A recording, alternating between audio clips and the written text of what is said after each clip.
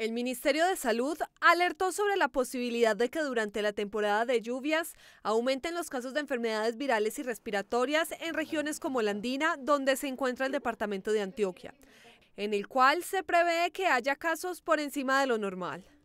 Enfermedades que afectan la salud en época de lluvia.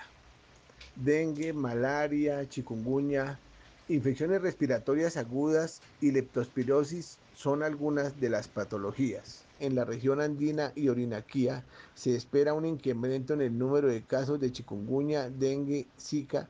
Esta temporada se convierte en la mejor oportunidad para que los mosquitos aumenten el número de criaderos.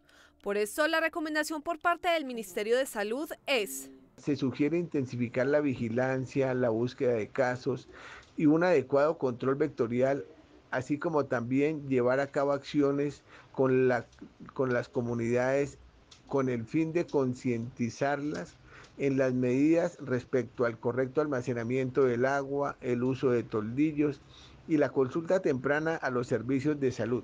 Según el Ministerio de Salud, las lluvias también podrían ocasionar la migración de roedores hacia diferentes zonas de los departamentos del país, lo que podría traer consigo enfermedades.